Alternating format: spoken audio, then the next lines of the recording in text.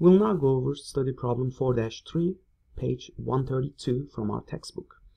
Um, let's first uh, figure out what are the givens in the problem. So we are provided with sales figure, cost of goods sold, and operating expenses. Besides, we're also given some extra information such as retained earnings and how many shares outstanding for the firm and dividends per share.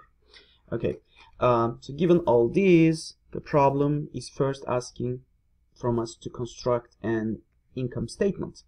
Uh, we start with our income statement for part A of our problem.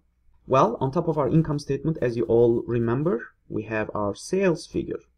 In our case, sales is $400,000. Next, we would have cost of goods sold. And we're lucky, it's given, so in the amount of $112,000. Well, the difference between sales and cost of goods sold will give us our gross profit. And in our case, it would be $288,000 see that I'm trying to align my numbers on the right side so my, I have a pretty decent looking income statement at the end. Next we should have our uh, operating expenses. It's also provided in our problem. Expenses in the amount of $130,000. Hmm, doing the difference one more time, we should get our operating income in the amount of 158 I believe yes 158 thousand dollars. So we're pretty much done with the first part of the problem. Now though we, we, we hit a barrier here because we do not know how to calculate our interest expense. And so let me just write down what we're missing currently so in, in the statement. So so far what I'm missing is our interest expense. And once I have that number here I can subtract from operating income to get earnings before taxes. And obviously I don't know that number either. And then I would further deduct my taxes and I will come upon my final line which is net income here. But as I said, we are pretty much, uh, we have a um, barrier here right now that we need to somehow figure out what to do next. So we already have used the first givens in our problem. I've made use of sales, I've made use of cost of goods sold and operating expenses. So I, I need to really think carefully. One thing that I, I was given is total number of stocks outstanding and dividends per share for all these stocks.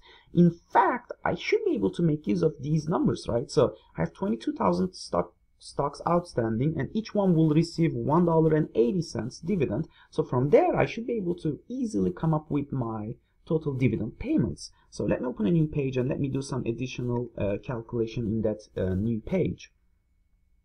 So total dividends paid, let's figure that out.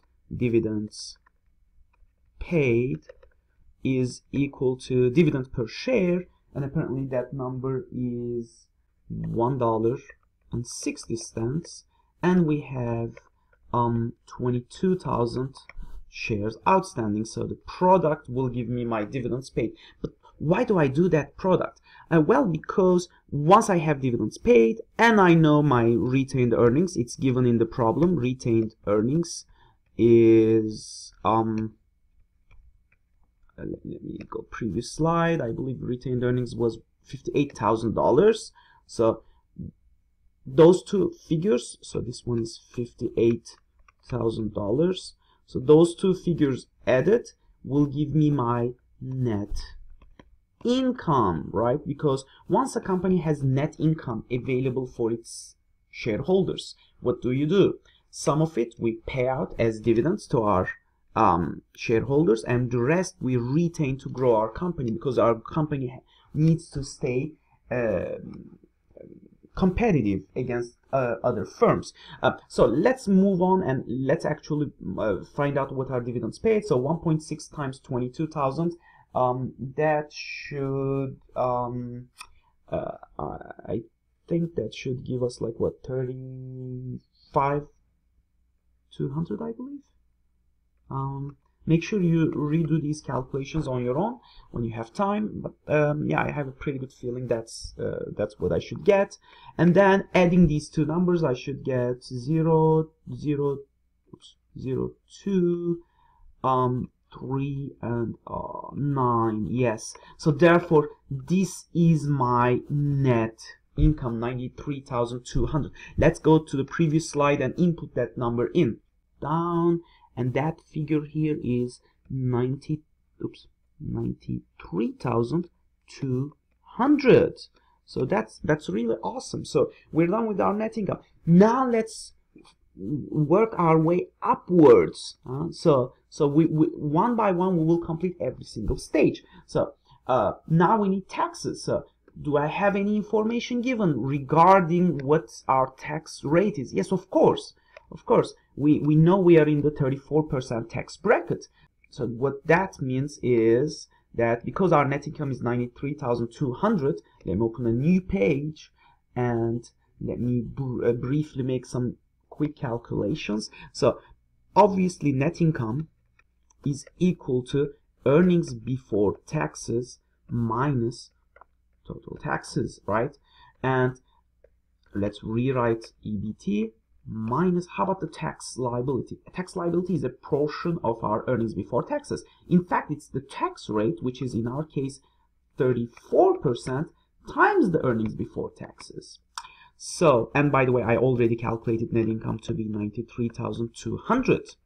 Just moving things around, we just realized that we can group the right hand side. It would give us EBT times 1 minus 0.34 equals to that 93,200 things. So therefore, earnings before taxes would be simply equal to 93,200 divided by 1 minus 0.34 is simply 0.66 and that will give us our income before taxes or earnings before taxes in the amount of 141 212 uh, making some rounding that's our um, earnings before taxes and let's go ahead and go to the previous slide and input that in huh? so um, that number here is one four one two one two but then it's pretty straightforward to to figure out what taxes is you can either multiply our earnings before taxes by 0.34 or even better you can look at the difference between earnings before taxes and net income because we reach net income by subtracting taxes from earnings before taxes, really the difference between these two numbers is the tax value. And in that case, that would be 48,000, um, um, is it, is it $12? Yeah, yeah, obviously 2 minus 2 would give you 0, 1 minus 1 is 0, 0, 2 minus 0 is a 2, 3, yeah, we are pretty much, that's correct. The only piece missing here is interest expense, but guess what? Again, the same thing. Uh, the difference between operating income and earnings before taxes is the interest expense. So I can just simply look at the difference between these two numbers. And long behold, that's what we get. So we are done with the first part of our problem. We were able to produce our income statement. Let's move up. The second part of the question is asking for operating profit margin. That one should take us just a few minutes because obviously operating profit margin is operating profit or you can say operating income divided by total sales. So that's a no-brainer. So in that case you should get um, I believe 39.5% so 1 for 58 divided by 400 will give you the correct choice. And finally for times interest earned all you need is operating income again which is 158 remember divided by interest expense in the amount of $16,788 that one should give you a, a 9.4 times because it's times interest earned. This uh, financial ratio is the, the units of this ratio is times so the answer would be 9.4 times. Let me write that down here. So the answer to the for uh, part C would give you 9.4 times. And for operating profit margin recall that we simply divided uh, operating income by sales and we got 39.5 percent.